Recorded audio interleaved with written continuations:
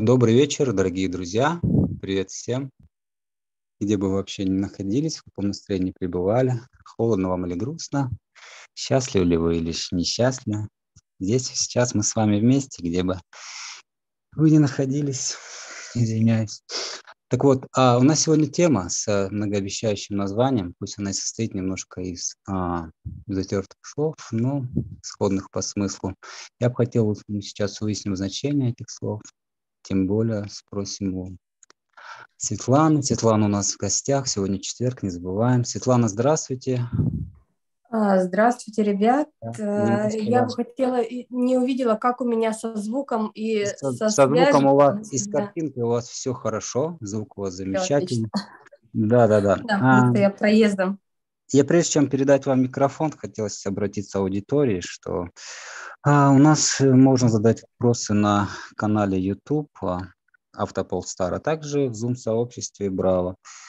Вот, э, ну, передаю вам слово. Начинайте. Да, я бы хотела, а, почему я взяла эту тему истинно просветления, да, потому что в том эфире я упомянула и про просветление, и про вечность. И у меня было очень много вопросов в личку, с пожеланиями, что вот а, эту тему поднять все же. И я, наверное, ее подниму с видения, со своего видения, то, что я пережила, чтобы, наверное, если вы поймете, как я это вижу, как я это чувствую, то больше вы, наверное, поймете то, о чем я говорю и почему я это говорю. Не потому что, чтобы там себе сказать или кому-то там сказать, что вот так вот нужно делать, только как я говорю. Нет, ни в коем случае, просто я говорю всегда свое видение. И э, у нас то, что касается пробуждения, что такое пробужденный человек? Пробужденный человек – это тот человек, который вышел из-под морока э, социальной матрицы, социального давления, социальных норм и критериев.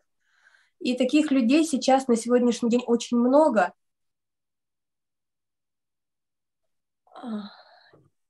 Так, секунду. Да, Камеру Хорошо. попросили в центр. Да, так вот я поближе, наверное, сделаю. И таких людей на сегодняшний день очень много, но э, настолько мы привыкли не доверять себе, настолько мы привыкли э, сомневаться в себе, сомневаться в каких-то действиях, сомневаться в каких-то словах, сомневаться в каких-то своих видениях, и э, то, что мы можем увидеть, то, что мы можем услышать, то, что мы можем сказать, что постоянно отгоняем от себя вот эти вот наши какие-то мысли, а, какое-то новое восприятие того, что мы э, не знали до этого. Нам все время кажется, не-не-не, это не про меня, это я, наверное, себе придумал, придумала, э, и еще что-то. У нас очень много социальных критериев и норм, которых мы придерживаемся. На самом банальном примере я могу сказать, да, что как я уже убедилась в том, что многие ребята считают, что пробужденный, просветленный человек – это тот, который безэмоционально, очень ровно, очень мягко, что-то высказывает и все время в такой находится, в такой напускной какой-то, напускной хорошести, я бы, наверное, даже сказала, который не говорит никаких плохих слов, у которого все все идет через любовь. Вот ему там показывают что-то, он, а он вот так вот, он не рассказывает, что есть в человеке, почему он это показывает, а именно начинает как бы как замазывать это, замазывать любовью. И очень многие люди на определенном этапе разочаровываются в этом, потому что как бы не было замазано любовью, если вы не вскроете вот этот гнойник, он все равно останется, он никуда не денется, он никуда не уйдет. И когда человек видит, то, что у него картинка не совпадает с реальностью, то есть, например, там один человек, ну, например, там я, да, сказала там, вот у меня были такие-то определенные состояния. И вроде бы хочется поверить, а в то же время как бы, ну, не, не совпадает.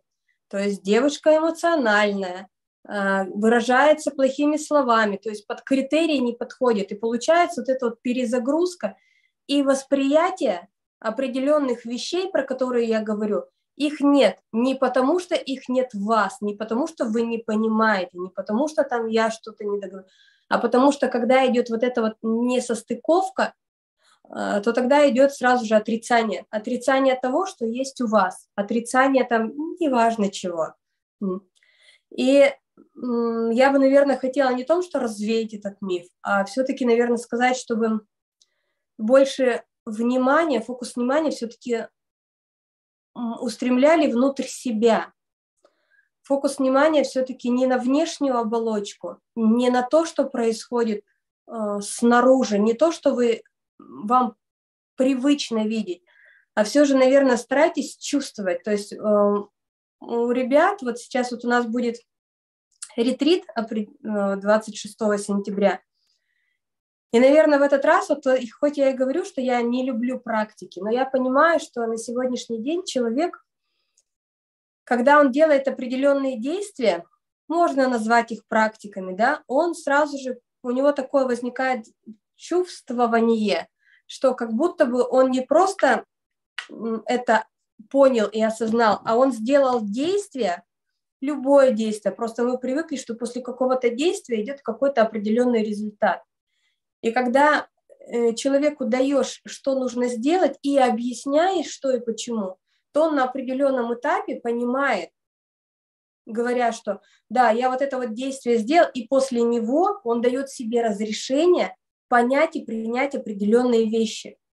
И именно поэтому вот в этом ретрите я буду давать таких много упражнений, я бы, наверное, так сказала, не практик, потому что практики для меня какое-то слово такое избитое. И очень многие после практик ждут каких-то непонятных вот этих вот завуалированных вещей, каких-то огромных, каких-то воздушных, таких сказочных. Нет, я бы, наверное, все-таки сказала, что это будут, наверное, какие-то упражнения, упражнения для чего-либо. Вот. И про э, просветление, как я это вижу.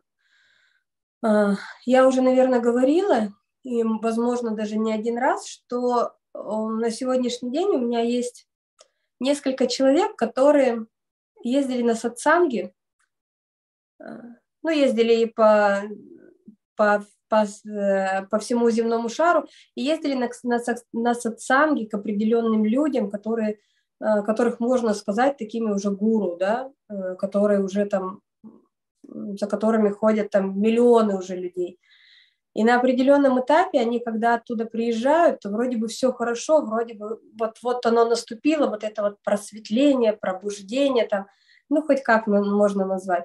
А потом через какое-то время раз, и оно, и человек начинает чувствовать, что э, начинает как бы хвататься за те воспоминания себя, каким он был после вот этого сатсанга, и он понимает, что как бы, как, как бы он ни схватился за них, все равно жизнь, которая есть вокруг него, она не изменилась, она все равно такой и осталась. И вот это вот получается, что его осознание, они как будто бы как разбиваются. И я задавала тут небольшой вопрос у меня был с ребятами, я говорю, что для вас такое просветление? И вот они начинают говорить вот то, что многие, многие говорят, пишут в книгах. Просветление – это когда мир выворачивается наизнанку. Просветление – это когда э, ты видишь другие краски. Просветление – это когда ты видишь там какого-то другого цвета деревья, когда там другой воздух, когда ты все любишь, когда ты порхаешь. И вот все-все-все-все-все в таком духе. И когда они это говорят, они не понимают, о чем, о чем шла речь. И я бы, наверное, хотела пояснить это со своего видения, как я это вижу. Потому что когда в определенный момент мы с вами понимаем вот это вот пробуждение, когда у нас, спадает вот эта вот матричная пелена, когда мы видим, когда мы убираем важность момента, важность, э, важность тех вещей, которые которые нас будоражили в свое время, да, когда мы убираем вот эту вот критериальность плюс-минус, хорошо, плохо, а, вот это вот нужно, вот это не нужно, когда у нас идет просто факт, когда мы понимаем, что это просто есть, когда мы начинаем осознавать себя в моменте, Я уже говорила, да, что такое момент, когда ты начинаешь себя осознавать в моменте, и когда у тебя нет вот этого, что это я сделаю завтра, вот это я начну, когда похудею, когда потолстею, когда вырасту, когда покрашусь, когда накрашусь, когда этот уедет, когда этот приедет, когда перееду, когда заеду. И много-много-много всего. Это, как я назвала, это жизнь с понедельника. И когда вы так делаете, вы всегда не в моменте. Потому что что бы вы ни делали, какое бы действие вы ни сказали, какую бы фразу вы ни озвучили, какое действие, вернее, вы не сделали, какую фразу бы не озвучили, с кем бы вы ни встретились, вы всегда делаете на 100% именно в моменте. И когда вы думаете, вот я бы тогда сделал, лучше бы я тогда сделал, вот я мог же больше или могла, я могла лучше, красивее, больше. А, это не так. Всегда в моменте вы идеальный. Вы идеальны для самого себя. Вы не лучше, чем были вчера, и не хуже, чем были вчера. И вас сравнить со вчерашним, по большому счету, не нужно. Для чего? Вчера вы были идеальным для вчера. Сегодня вы идеальны для сегодня. И когда вы осознаете этот момент, когда вы не, а, не засматриваетесь на то, как, а как отреагируют люди на то, что я сказала или сказала, а как отреагируют, что я сделала или сделала, как я одет или одета, а, как я, где я сижу, как я сижу, на чем я езжу, с кем общаюсь. Когда у вас вот этот момент отпадает, потому что вам просто хорошо с собой, вам просто хорошо здесь сидеть, вам просто хорошо с этим человеком, какой бы он ни был. Вам просто хорошо, когда вы говорите вот это. И когда вы понимаете вот эти моменты, что они идут именно стопроцентные, в этом моменте. В этом моменте вы никогда не можете сделать ни больше, ни меньше. Вы всегда истинный. И когда до вас это доходит, когда вы это осознаете, что это есть, вам не хочется уже заглядывать, вам не хочется себя сравнивать, вам не хочется себя накручивать, то, что я мог бы лучше. Просто когда у тебя это приходит, когда ты понимаешь, что ты идеальный, у тебя уходит страх, что я сделаю что-то не то. То есть у тебя нет вот этой вот амебности, что а что мне не нужно никуда стремиться, а что мне не нужно там сделать что-то лучше, что-то больше. Почему? Стремление же оно так и остается, но оно остается в моменте, просто нет осуждения. Когда ты себя не осуждаешь, когда ты не говоришь себе, что ты такой плохой, когда ты не говоришь себе, что ты вот такой вот лентяй, какой-то недотепа, еще что-то, когда ты себя преподносишь и превозносишь для самого себя, не сравнивая с кем-то, а для самого себя, когда ты превозносишь в каждом моменте, то ты понимаешь, что у тебя слетают вот эти страхи, у тебя слетают рамки и ограничения, и ты тогда начинаешь расширяться, ты идешь все больше и больше, и каждый момент для тебя становится все более насыщенным. И когда вот ты вот это вот осознаешь, когда ты начинаешь жить вот в этом состоянии, когда ты начинаешь э, понимать, что этот мир, он в определенный момент он выворачивается, но выворачивается он как? Не чтобы, что значит заиграл другими красками? Он выворачивается истинный, он становится таким, какой он есть. Там нет алмазных бабочек, там нет изумрудной травы, там есть то, что есть, без, без изъянов. Оно просто есть такое и ты становишься истинным. И когда истинность смотрит на истинность, тогда идет пол, полное принятие всего, что есть, в том числе и самого себя. И вот это и есть то состояние, когда ты идешь, и когда, тебя, когда у тебя благость, когда у тебя нет вот этой вот радости. Ой, как хорошо, я родился, я живу, я, у меня новый день, новое солнышко. Никогда ты начинаешь всплеск в этот плюс, потому что всплеск плюс все равно отпустит в минус. А когда у тебя идет м, тотальная истинность самого момента, самого себя, то тогда ты начинаешь себя чувствовать по-другому. Тебе не нужно себя сравнивать, ругать или хвалить. Ты просто есть, ты начинаешь жить ту жизнь, которой живешь. Ты, тебя жизнь начинает жить, потому что ты с ней становишься единым целым. Она не проходит мимо тебя. И когда ты в определенные моменты начинаешь жить в этом состоянии, то как было у меня, э, просто вот у меня наступил, я сидела, и у меня наступил такой свет, наверное, это было мгновение, может быть, это было несколько секунд, я не знаю. Это была ночь, и просто вот все, все а, как будто бы я была в луче, как будто бы вот я осветилась. И вот этот свет, он был везде, то есть он сочился через, через кожу, через руки, через все. И когда вот в этом свете он был такой, такой мягкий, такой легкий, такой плотный, такой обволакивающий. И ты в этот момент, в момент, это буквально секунды, ты начинаешь чувствовать, что больше нет вопросов, есть только ответы. И ты находишься в, этом, а, в этих знаниях, в ответах. Ты есть это знание. И когда вот это вот эм, срабатывает, ну, это я, наверное, и считаю, что вот это и есть вот это вот просветление. Я не знаю, я с этими терминами, ребят, правда, эм, для меня они какие-то чуждые, просто я говорю, что какие моменты с нами бывают. И после вот этого момента, когда с тобой это случается, когда ты есть эти знания, тебе, хочет, тебе уже не хочется останавливаться. Мне не захотелось останавливаться, мне захотелось идти дальше. Потому что чем дальше углубляешься в эти моменты знаний, вот в эту светлость тотально, уже нет разделения истинности правды. Это просто знание. Нет этого, что мы себе придумали. Правда у всех одна, истина единая. Когда вы погружаетесь в это состояние, вы просто в знаниях, вы просто в истинах, уже нет, нет вопросов. Есть всегда только ответы.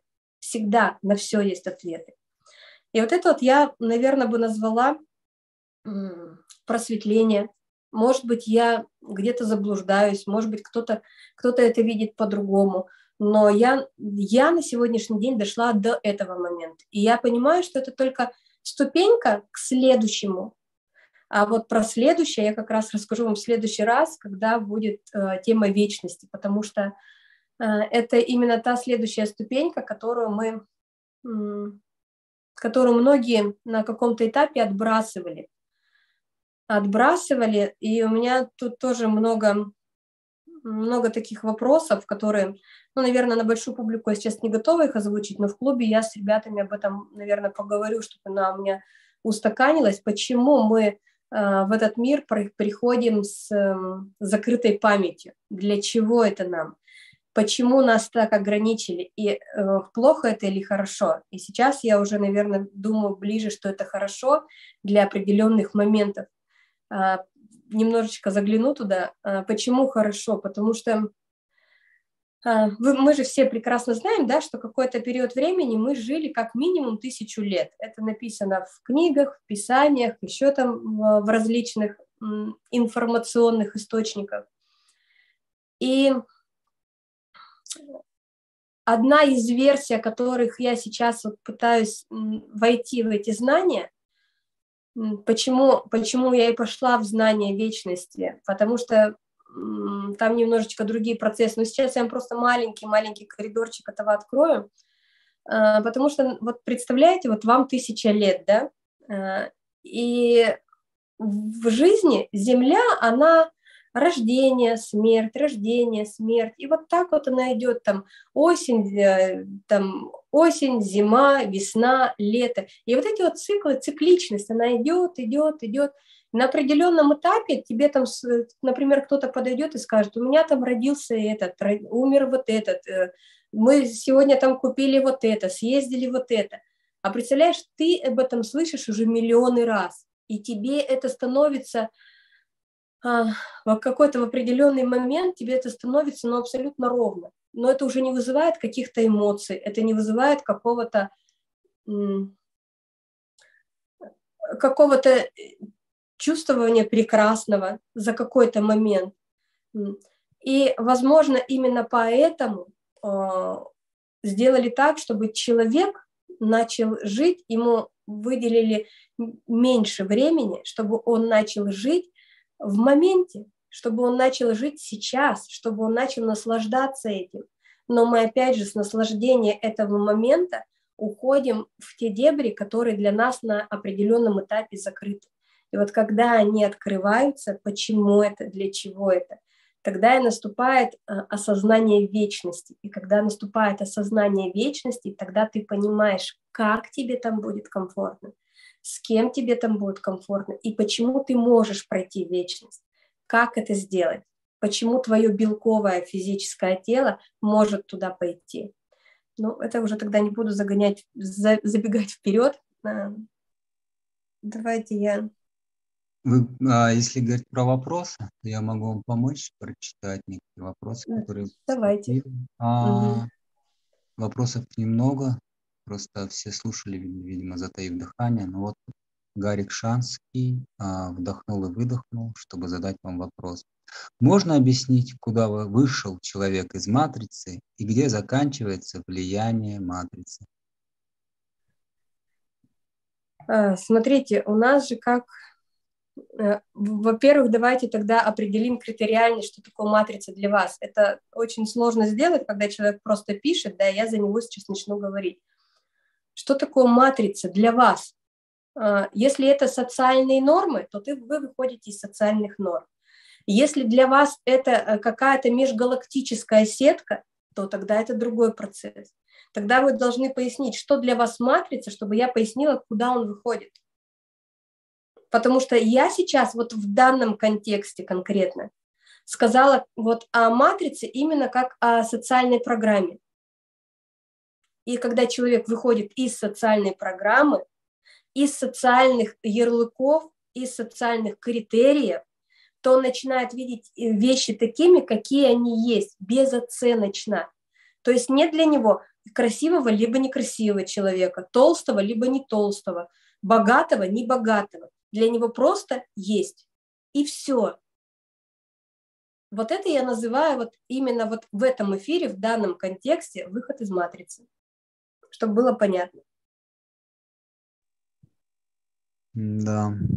А Екатерина Грин пишет, что игра сначала переду, придумана без пищи, а потом добавили пищу, игра поменялась. Насколько это откликается для вас, насколько соответствует действительности, на ваш взгляд? Но у нас же даже в Писаниях есть такое, что э, говорится о том, что человек изначально, он э, не было у него физической еды, то есть у него были, э, были фрукты как определенный носитель информации. Каждый, потому что каждый фрукт, вы на определенном этапе будете видеть, что каждый фрукт, он звенит по-разному, у него запах разный. И запах разный же и у человека. Не просто запах человека, как мы любим говорить там, ой, от этого вот нехороший запах, от этого запах пота, от этого еще. Нет, ребят, у каждой эмоции, у каждого чувствования, у каждого как, какой-то внутри э, когда у нас определенным, когда мы чувствуем какую-то эмоцию, какую-то какое-то чувствование у нас идет, когда у нас межклеточное пространство вот этот ток запускает, у нас идет запах, у каждой эмоции, у каждого чувствования есть свой запах, не говоря уже о том, что есть э, снаружи. Но мы очень многих запахов на определенном этапе не можем разобрать. У нас этого нет. У нас нет, это как будто бы у нас закрыты. Закрыты эти знания, закрыты эти чувствования. Угу. И тут же вопрос от той же Екатерины Грин. Я хочу спросить, а на смертном Андре о чем вы подумаете? О смертном Андре, о чем вы подумаете? Ну, ну во-первых, я уже несколько раз говорила, что я никогда не забегаю вперед, да? И что такое на смертном Андре? Во-первых, я вам уже рассказывала, что у меня несколько было моментов, когда мое физическое тело практически умирало. И вот когда умирает человек, это одно. И когда он умирает в первый раз, это одни видения этой ситуации. Когда он умирает на определенном этапе осознания себя, это другие этапы. Если это в старости, там вы спрашиваете, там 80, в 90 лет, вообще буду ли я умирать, это другой вопрос. О чем вы подумаете? О чем я подумаю, я уже не знаю. О чем я думала, я вам рассказывала, когда у меня было несколько месяцев, когда я понимала, что мое белковое тело умирает. Света, так как вопросы mm пока закончились, вот хотел спросить по поводу последнего вопроса. Этот вопрос э, немного огорчил вас или настроил против вопрошающего, или как-то, что вызвало у вас некую негативную реакцию. Было ли такое, или мне, допустим, показалось? Если да, то как избежать этого разделения, этой двойственности? Как иначе ведь можно было по-другому прореагировать, например, посмеяться про себя, либо какие-то другие сотни других реакций, которые тоже, в принципе, в арсенале могут быть. Или это вообще мне показалось? Ну, если вы говорите про какую-то реакцию, какая реакция была, ну, естественно, не было никакого негативной реакции, не было. Просто я понимаю, что я на этот вопрос отвечала, эм, ну, наверное, раз пять. Mm-hmm. И когда ты отвечаешь на, несколько, на один и тот же вопрос несколько раз, то ты понимаешь, что я же понимаю, что, значит, я не настолько интересна, например, вот определенному слушателю, да, что он где-то выхватил из контекста, он не знал, не знает той ситуации, про которую я говорила. Это не огорчает, это не раздражает, это просто факт и все.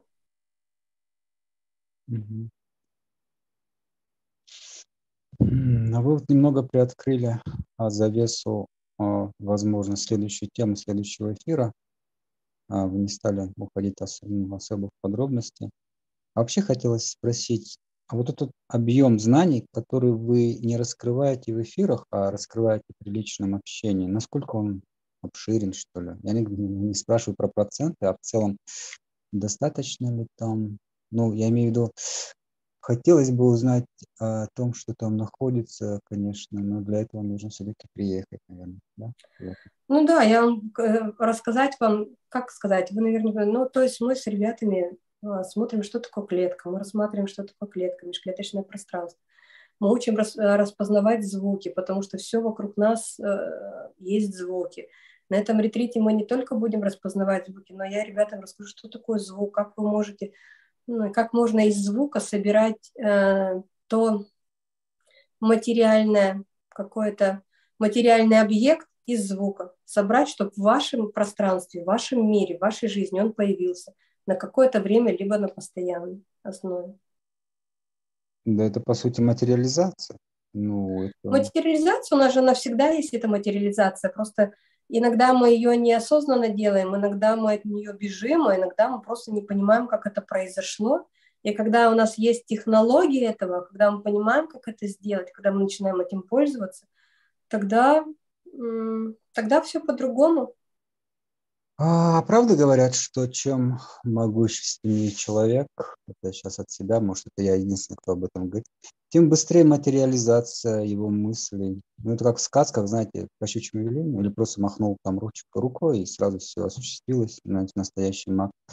То есть, а вот у людей, вот, допустим, мой брат, а, он, у него была материализация, он сам того не понимал, и в итоге за 10 лет построил большой дом для своей семьи. По сути, он осуществил, это тоже магия, то есть его мысль материализовалась, ну, поэтому ему понадобилось достаточно долгий срок для этого. Вот. А, а у вас, наверное, вы сейчас в такой ситуации, что материализуется буквально все, как у греческого царя Мидаса, который чему бы не прикоснулся. Нет, смотрите.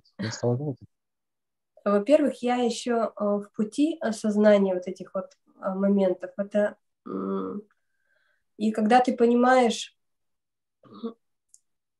когда ты понимаешь, что ты можешь вот это, можешь вот это, то важность, э, важность многих моментов, она отпадает. Тебе уже как будто бы это не надо. А когда тебе это не надо, оно к тебе не приходит. Это то же самое, что вы, например, там любите апельсины, да, вот вы их любите и думаете, вот сейчас вот я куплю апельсин, завтра куплю апельсин. А когда вы живете на складе апельсинов, и их можно есть постоянно, вы через какое-то время к ним просто, э, если вы их не передаете, для вас они просто становятся как определенный такой же фрукт, как все остальные, которые вы спокойно к ним относитесь. И у вас уже нет такого, что там, я не знаю, мне, пожалуйста, таблеток от жадности, да побольше, побольше уже больше акцент идет не на материальные вещи, не на материализацию именно каких-то вот этих вот а, физических благ, которые там, чтобы кто-то увидел, кто-то посмотрел, там, дорогие вещи, а, какие-то определенные там дорогие там отели, а, курорты, еще что-то. Уже не на это идет акцент, а ты хочешь быть именно больше, наверное, не, не столько к дикой природе, хотя это тоже вот тот момент, который я очень четко сейчас ощущаю, но хочешь быть с настоящими людьми, которые, неважно, зарабатывают они, либо не зарабатывают, когда ты чувствуешь, что это идет искренность от них, э, когда ты понимаешь, что они идут не на то, чтобы побольше там побольше заработать, чтобы выглядеть вот так вот, чтобы их принимали вот так вот. Или там побольше узнать какой-то информации, чтобы э, другим показать, насколько они э, могут общаться с тобой практически в любой сфере. То есть уже идет не вот это, а идет внутри, внутреннее чувствование э, того человека, который стал для себя интересным, и тебе становится интересно быть с ним. И вот этот вот материальный аспект, он он отваливается, он становится неважным. То есть у тебя есть ровно столько, чтобы тебе э, было на поддержание того, что, к, чему, к чему ты хочешь, что ты хочешь. И когда ты понимаешь, что вроде бы хотелось бы, наверное, вот этого, и думаешь, а почему у тебя это не случается? И когда ты начинаешь, а почему это не случается? А зачем мне? А действительно ли мне это нужно? И ты думаешь, нет, вот как бы вот это меня бы уже, наверное, тяготило по этим и по этим вопросам, по этим, по этим критериям. Ты думаешь, наверное, нужно что-то вот для меня сейчас, что-то конкретно попроще, но э, именно там, где меня не будет цеплять, где меня не, не, не смогут подцепить за что-то, за какую-то материальность. Не кто-то, а я сама в себе. И тогда вот эти вот моменты отваливаются, и ты просто, просто начинаешь ездить, просто начинаешь путешествовать, просто начинаешь смотреть те места, в которых ты не был, просто начинаешь общаться с теми людьми, с которыми тебе интересно. И э, вот этот вот материальный, материальный аспект, он отходит. И когда я сейчас ребят, э, ребятам показываю, как можно, например, создать определенные вещи, то те ребята, которые уже доходят до этого момента, у них ни у кого нет вопросов, а как создать деньги, а могу ли я попасть в банк, а могу ли я вот это. То есть вот эта вот стадия, она уже где-то там далеко. И ты идешь к другим вещам, когда ты начинаешь именно познавать и прощупывать этот мир в другой плотности. И это другие ощущения. Угу. У нас а, вопрос а, от все того же Гарика Шанского. Он спрашивает, а как же вы живете без оцен... безоценочно, если получаете знания из света, но свет очень ограничен и есть тьма? Трудно разобрать, что я имею в виду под словом. Свет очень ограничен и есть тьма. Ну, либо мы можем перейти к следующему вопросу. Ну, я вопрос немножечко не поняла, что значит свет да, ограниченный, да, есть тьма. Давайте. Питающий вопрос, а мы пока перейдем к следующему вопросу. Опять-таки в платформе YouTube. Зумчане пока молчат. Ольга, Но... Ольга Носенко спрашивает, скажите, пожалуйста, есть ли у вас друзья и что значит для вас на вашем уровне сознания дружба? Благодарю.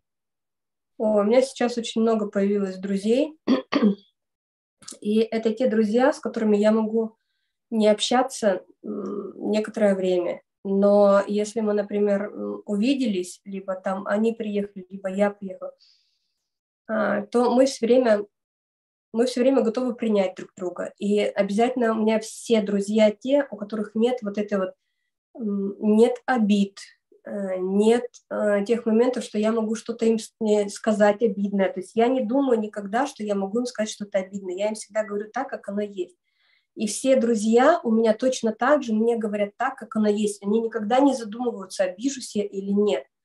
И это, это нас освобождает от рамок. И таких сейчас у меня друзей, ну, наверное, не только по всей России, но и за рубежом есть, которым я прекрасно понимаю, что я могу в любой момент к ним приехать и прилететь, и у них не будет яркой радости либо яркого разочарования. У них будет как бы такое, о, прилетело, клево. Там, например, там можешь, можем с тобой куда-нибудь сходить, или там я, например, там занят, ты располагайся, я поехал. То есть вот такие вот абсолютно легкие, не обязывающие друг друга отношения. Вот это, наверное, есть для меня сейчас дружба, когда это все вот так наладить. Угу. А, опять-таки Гарик Шанский. А Света, наверное, удивится, но в природе нет звука. Это как зачин для разговора. В природе нет звука. Опять-таки, Гарик, вы нас ставите в тупик последними вопросами. Нет, это как бы не тупик, это, эм, Гарик, у вас, если у вас нет, почему я должна удивиться? Но я же их слышу, я не могу удивиться того, чего, эм, чего не существует в моем мире. То есть я слышу звук, э, я знаю звук, я слышу звук, не, э, звук же слышится не ушами, это, это же идет вибрация. Что такое звук? Это вибрация, которую ты воспринимаешь своим физическим телом. И ее очень спокойно можно отследить, любой звук. То есть как едет машина. Ты можешь не слышать ушами эту машину, но ты четко знаешь, когда ты ловишь своим телом вот эту вот вибрацию. И когда ты ловишь своим телом вот эту вибрацию, ты понимаешь, что это идет, что это, например, едет машина, что это поет птичка, что это еще что-то. Это и есть звук. Вы можете его назвать хоть как, но мы же сейчас говорим мы же все здесь простые люди, и чем проще мы будем говорить вот эту терминологию, о которой мы привыкли, тем проще нам будет понять, э, тем проще мне будет донести свой мир до людей, чтобы они понимали, как, как они могут распаковываться, потому что я же их не тащу в свой мир. Я же не говорю, что вот только так, вот как вот вы сейчас делаете, да? А я говорю, вот в моем мире есть вот это, но я тебе могу показать, как это, чтобы ты тоже прочувствовал. И он уже смотрит, есть в его мире это или нет в его мире это. У него всегда есть, э, у него всегда есть момент, когда он может со мной согласиться или не согласиться, и это здорово. А когда мы начинаем что-то утверждать, это всегда ограничение, в первую очередь ваше. А у нас тем временем парад странных вопросов продолжает свое шествие. Арс задается вопросом, какой лес вам ближе? Что бы это значило? Ну, допустим, Какой хвойный, лес? Да? Ну, знаете, ребят, вот я люблю леса на Урале. Я выросла э, на Урале, мне очень нравится. Сейчас э, мне нравятся хвойные леса, мне нравятся березы. То есть они все пахнут по-разному, у них у всех э, разные вибрации, у них в каждом лесу разная плотность этого пространства. И там нельзя сказать, что что-то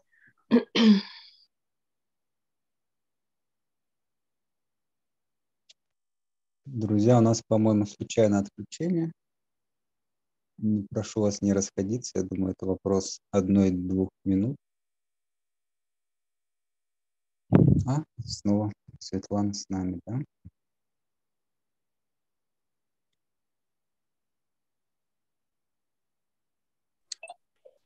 Да, вас видно и слышно. Да, я извиняюсь, у меня просто звонок пошел, и все сбросилось. Ага. Э, и нельзя сказать, что какой-то лес я люблю больше, какой-то нет.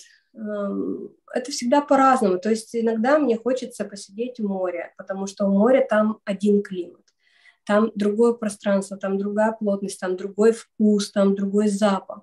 Иногда мне нравится быть в горах. То есть я недавно побывала в горах, я понимаю, что чем выше я поднимаюсь на гору, тем легче мне дышать, тем свободнее я себя чувствую, как будто бы у меня стираются вот эти вот рамки моего белко, белкового тела.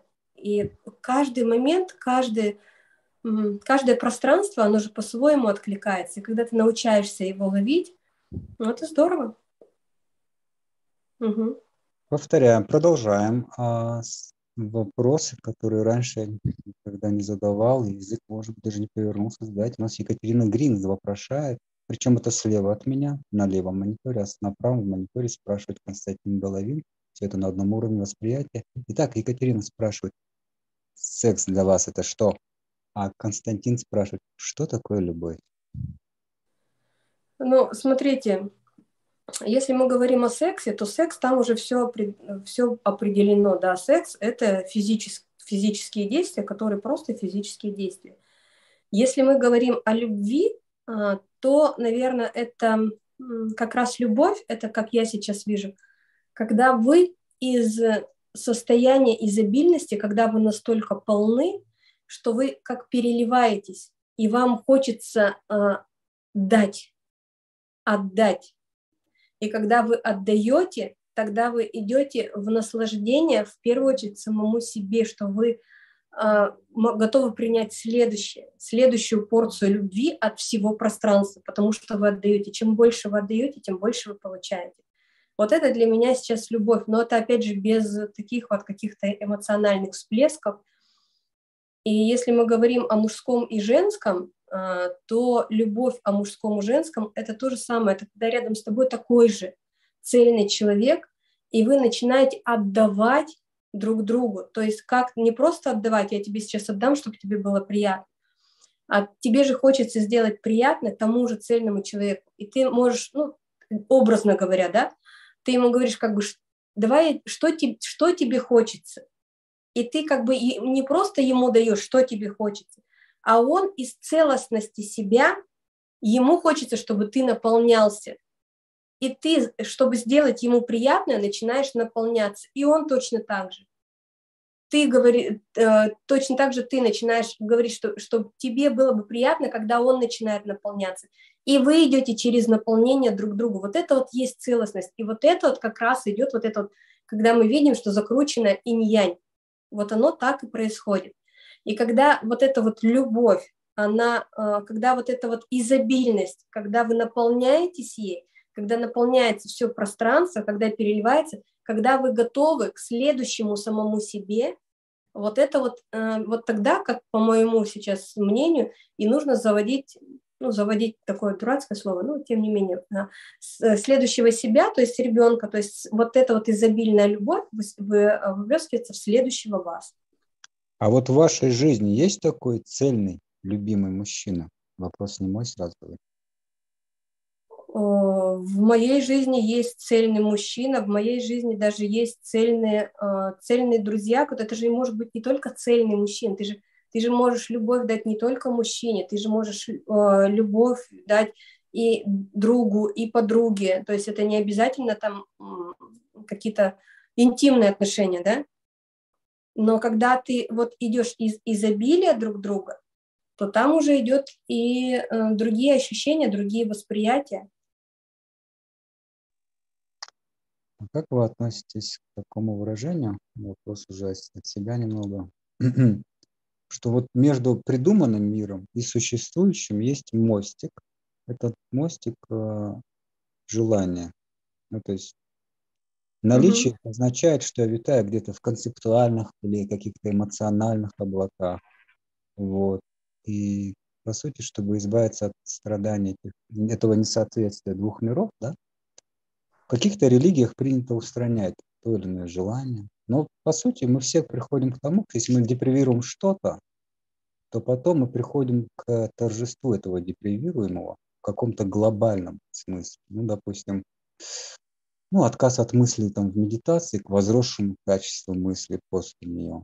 Или отказ от желаний, приходим к тому, что все, что мы не видим, и есть наше желание. Мы, по сути, это уже осуществленные желания и наша мощь, что ли, в моменте. Согласна с этим утверждением? Ну, на каком-то этапе я, наверное, с вами бы согласилась, а когда вы начинаете Э, жить себя, то у вас приходят другие ощущения. У вас не, у вас не идет через отрицание чего-либо. У вас не идет через дефицитарность чего-либо. У вас идет принятие себя просто на тот момент того, чего есть. И, а вы никогда не можете хотеть больше, чем нужно вам, если вы умеете себя слушать. Вы никогда не можете хотеть меньше, чем вам надо. Вы всегда, если вы э, самим собой в ладу, то вы всегда, у вас э, абсолютно ровное состояние того, что вам нужно. И в мире всегда есть то, что вам нужно. Если вы научаетесь так жить, то у вас не будет никогда выплеска в большую вот этих вот качелей, либо туда, либо туда. Это то же самое, да, как я сейчас говорю, то есть я не обесцениваю ни едине, я не обесцениваю ни в коем случае. Но когда я вижу, э, что ребята голодают годами, э, я вижу, что они из одного ограничение еда, начинают перепрыгивать в другое ограничение, не еда, и у них ничего не получается. И поэтому я говорю, что, ребят, через осознание, когда вы приходите, то еда, она как побочный эффект, она отваливается. Вам без разницы, едите вы или не едите. Если вы идете все а, вот в, в путь к самому себе, это неизбежно, что она у вас отвалится. Вот даже вот, э, я уже несколько раз приводила ребята, с которыми я общаюсь, которые вот мои друзья, да, можно сказать, у них нет привязки к еде, то есть они могут в месяц съесть, например, там одну-две груши, ну, образно, да, чтобы вы понимали, какой это размер еды. У них нет этого, что я хочу грушу. Ну вот, например, проходил там, висел или там был там где-то на застолье, там взял там какую-то четвертинку груши, там еще что-то. То есть э, этот аспект из твоей жизни вываливается как ненужный. И это все же в твоей жизни так происходит. Если ты не идешь в дефицитарность самого себя, если ты не делаешь акцент для самого себя на том же изобилии, а если ты просто вот льешься для самого себя, то у тебя тебя не будут выбрасывать плюс или минус, потому что ты уже изначально не хватаешься за что-то. И тогда вот эти моменты, они отпадают, и тогда ты идешь в легкости. Тогда у тебя нет того, что там тебя что-то раздражает или тебе что-то очень хочется. У тебя идет такое состояние, как бы, ну, хотелось бы, но если нет, то нет. И с этим состоянием очень, э, очень хорошо и очень комфортно всегда, потому что оно легкое, оно дает тебе легкость, оно дает легкость твоим окружающим. А осознание чего? Э, ты говоришь осознание. Когда происходит осознание, то... Осознание себя, это то, что вот я как раз говорила в начале. Mm. Я же с этого начала. Ну, я не сначала, я понял. А можно вдогонку вопрос? Угу. Так. Вот э, можно ли в беседе, ну, словами, за один присест или там за день, за какой-то вот такой вот срок короткий, довести до вот этого сознания, там, пробуждения, просветления, ну, или как я, э, до, до чего-то ну, этого. То есть зависит ли? У нас был опыт, да, как, как сказал, сказали, ну, пока, пока вот на личном присутствии, чтобы вот так вот прям эм, когда, когда, скажем так, я и Слава смогли себе позволить прям вот так вот по жесткому. Э, человек есть, но мы договорились, что такие будут у нас проходить э, ретриты индивидуальные без э, того, чтобы человек потом начал свои отзывы оставлять. А в течение 20 минут человек полностью распаковался, так скажем, в течение 20 минут, причем через ту свою грань, про которую он даже сам не предполагал. Он думал, говорит, я со всех сторон думал, что вы можете подойти, но чтобы с этой, вот, и он потом уже, когда прошло время, когда прошел уже там месяц, вот, он уже говорит, но я до сих пор вспоминаю эти моменты, до сих пор вот э, для меня это все удивительно. И да, он осознал, что такое вечность, он идет дальше, и у него нет еды в его жизни. Практически нет. Это, это зависит от его уровня. Это от кого угодно так можно? Или Нет, этот человек должен хотеть и быть готовым к этому. Это обязательно. То есть если человек этого не хочет, если ему это не надо, то это, это без вариантов. Или если человек идет еще в отрицание самого себя, то как? То это просто будет... Э, он пойдет э, в отрицание еще всего того, что ему говорят. Когда не воспринимается информация, когда он не готов к этой информации, конечно, нет. Он должен хотеть этого. Он должен готов быть к этому. А отрицание себя это как выглядит? Что еще раз? Отрицание себя, как это выглядит? На примере можно? Ну, отрицание себя, любые вопросы, когда в своей жизни есть то, что, например, там, тебе говорят, вот так вот, это вот, вот хорошо. Ты говоришь, нет, это плохо. То есть у тебя в твоей жизни есть хорошо, есть плохо. Ты можешь отрицать, можешь соглашаться.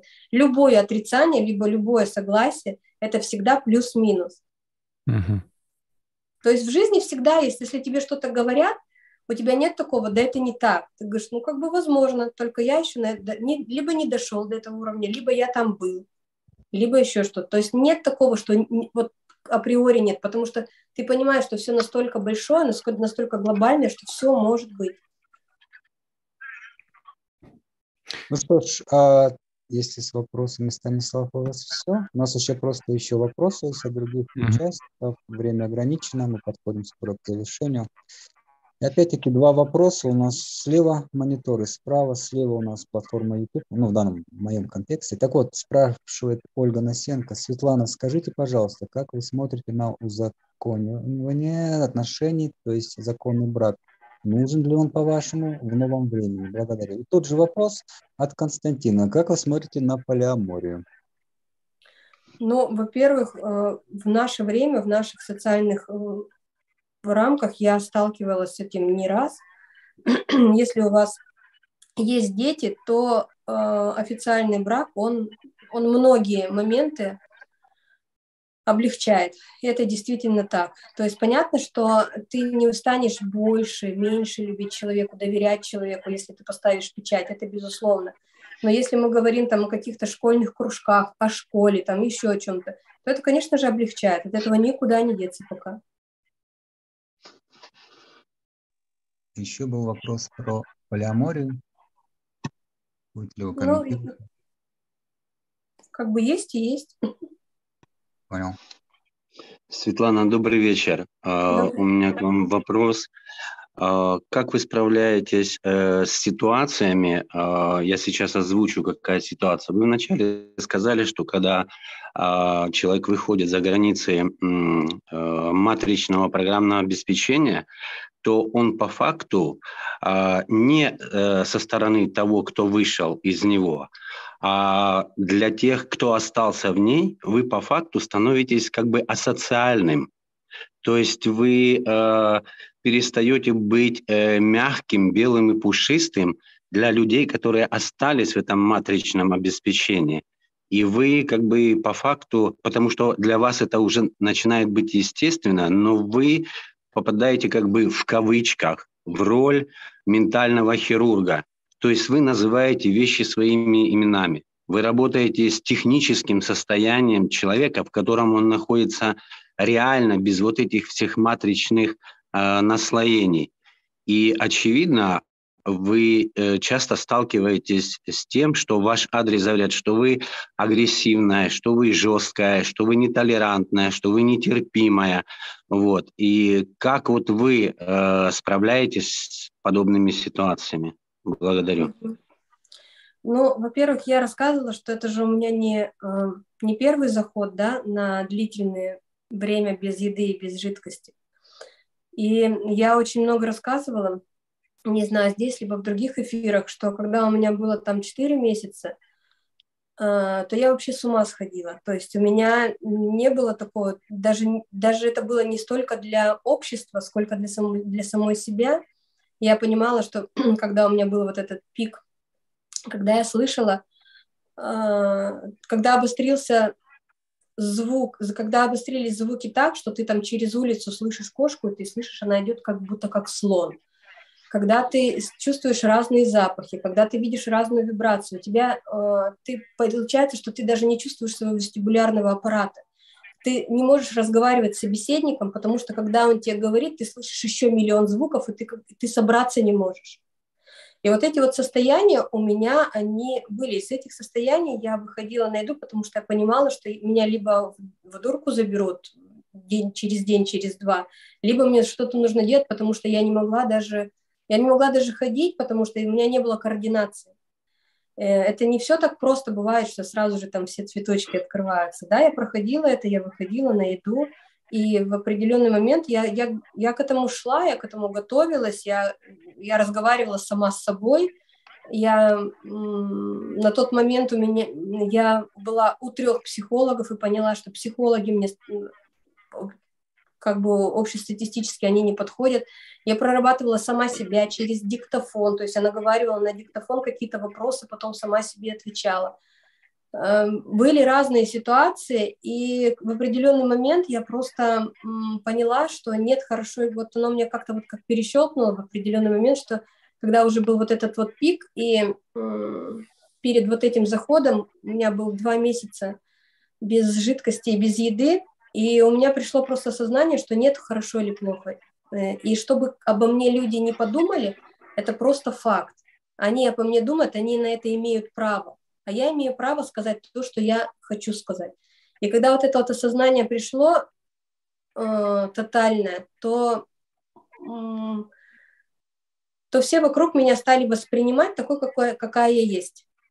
Ну, были с обидами. На меня до сих пор на меня некоторые люди обижаются и не понимают, почему я так вот могу это высказать и почему я могу себе позволить э, рассказать им то, о чем они спросили. То есть я никогда не залезу, если меня не спросят. Но если меня спросили, то да, я могу высказать э, и очень жестко, и, ну, наверное, процентов до сих пор, где-то процентов 40, они со мной перестают после этого общаться. Такое есть, и как бы, ну, есть. От этого не деться пока никуда. Спасибо большое, спасибо. Что ж, вопросы у нас закончились. Собственно говоря, и время. Светлана, благодарю. Что были с нами. С нетерпением ждем вас на следующей неделе.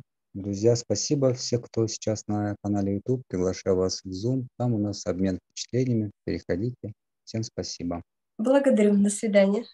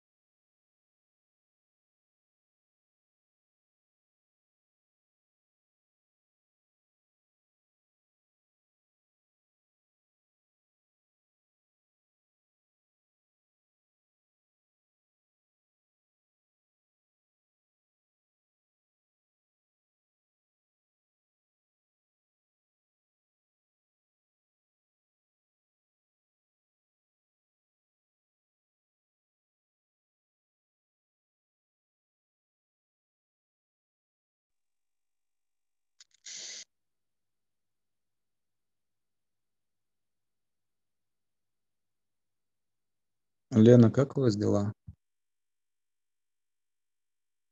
Ну, Лен тут раз, два, три.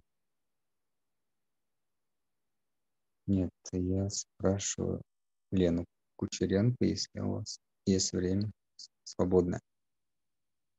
Как у вас дела? Помнится, у вас там с диетой что-то было.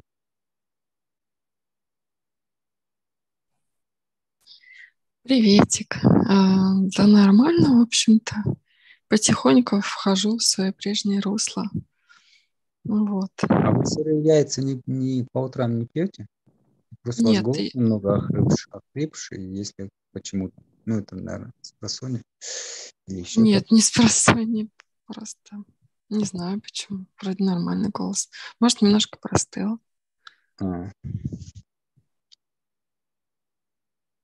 Да. А вы видели НЛО? Нет. Нет. А знаете, я видел, но это было в детстве. Это вдруг шум, гам. А, НЛО, НЛО. Мы выбежали, дети, будучи детьми, во дворик и задрали голову. А там летят около шести-семи шаров таких ярких. Пролетели над нами. И, вот. А на следующий день в газете читаешь, в газете «Республиканская правда» читаешь об этом целую статейку, что в нашем городе пролетало НЛО такое. Сейчас маленькое объявление. Паш, Полстар, если ты меня слышишь, глянь сообщение личное в зуме. У меня там к тебе сообщение есть. Вот. Вот такой вот случай был. Вадим, это Илон Маск запускал свои спутники. Ну, Илон Маск тогда под стол пешком ходил. Хотя, конечно, он старше меня лет на 20. Он бессмертен. А, такие люди, да, их стоит опасаться. У них что-то... Мне кажется, Илон Маск, он... У него подключка какая-то необычная, либо материальная, либо внематериальная, но и сайтами его снабжает «Будь здоров», если это действительно его проекты, конечно. О, технологии будущего.